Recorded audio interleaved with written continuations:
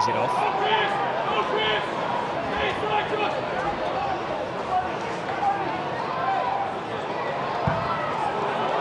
Played in and a tussle on the edge of the six-yard box. It breaks to Harry Kite. Fantastic finish.